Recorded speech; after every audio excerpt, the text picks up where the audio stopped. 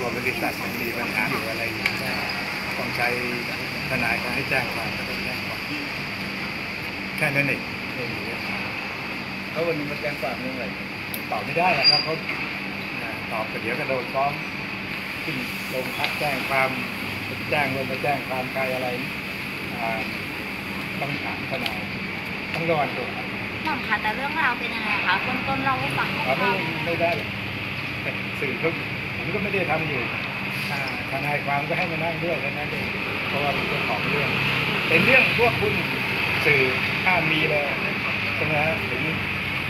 อีกสองวันผมมีหุ้นสื่อผมลงถูกจบทันที คุณสัมปทานวันที่24เลือกตั้งต้องหมดแล้ว ก็พยายามเคลียร์อยู่ๆอันนี้ก็เป็น บริษัทสื่อเหรอคะเปล่าฮะเป็นบริษัทผมผมทำธุรกิจอยู่ ผมไม่ได้เป็นราชการอยู่มาตั้งสิบกว่าปีแล้ว แล้วผมก็ซื้อหุ้นซื้ออะไรต่ออะไรอยู่นะครับ แล้วพอจะลงเขาอะไรนะคะไม่ไม่ได้ดำเนินคดีนะ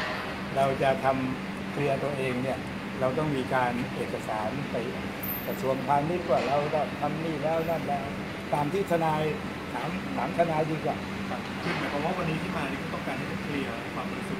ิ์ของตัวเอง ไม่ไม่ไม่ไม่ใช่ฮะ ผมจะต้องเคลียร์หุ้นทรัพย์สินผมเนี่ยจากหุ้นสื่อห้ามเด็ดขาดนะครับหุ้นสัมปทานพวกเนี้ยการที่ติดบางทีก็เกิดปัญหาไปไปยุ่งกับมนุษย์เขาเพราะเขายุ่งกันมากอยู่แล้วแล้วเรามีหุ้นที่จุดหนึ่งอะไรเงี้ยนะฮะไปทำอะไรไม่เกิดอะไรหรอกแต่ว่าพอจะลงเลือกตั้งจุดหนึ่งก็คือจุดหนึ่งมันก็คือหุ้นหุ้นเดียวก็คือหุ้นก็จะต้องเคลียร์เรื่องพอเคลียร์เรื่อง